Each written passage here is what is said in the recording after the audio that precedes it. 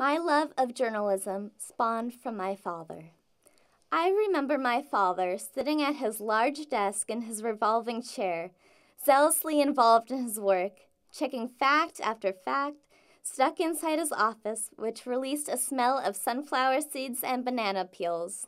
He told me that what he does spends time, if only for a little bit, for the Huntington Beach community. That intrigued me. At the age of eight, time seemed to stretch forever for me lost in a world of peanut butter and jelly sandwiches and the newest SpongeBob on TV. And yet, I was hooked on this concept. What did other people do with their time?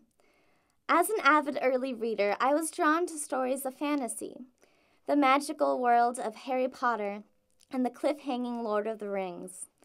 I had never paused to think that ordinary people led lives filled with fascinating stories of their own.